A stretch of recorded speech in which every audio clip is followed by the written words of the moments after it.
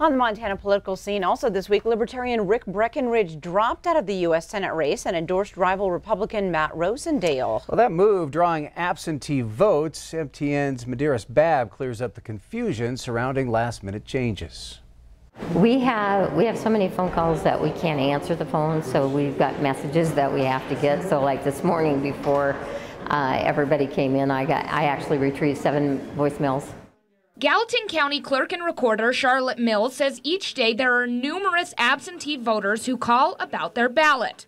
Requesting an absentee and voting an absentee and whether or not they're on the absentee list and how they can get an absentee ballot.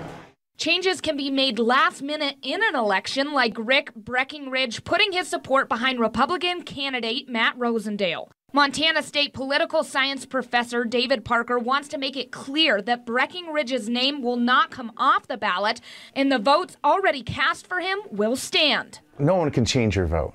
No one can go in there and say you voted for X and that means Y. So if you send an absentee ballot in before a change, and let's say somebody drops out of the race, that vote still goes to that person and still reported to that person. The question is Does a ballot change this late in the campaign season impact election results? Parker says no. So, whether it changes anything in election is somewhat immaterial because the ballot has gone out. So, a lot of people probably won't, don't even know about what happened with Rick Breckenridge. So, if they're intending to vote for Rick Breckenridge, they're probably going to go ahead and vote for Rick Breckenridge, period. Parker added he expects the Montana turnout for this midterm election to be more than ever before. In Bozeman, Medeiros Babb, MTN News.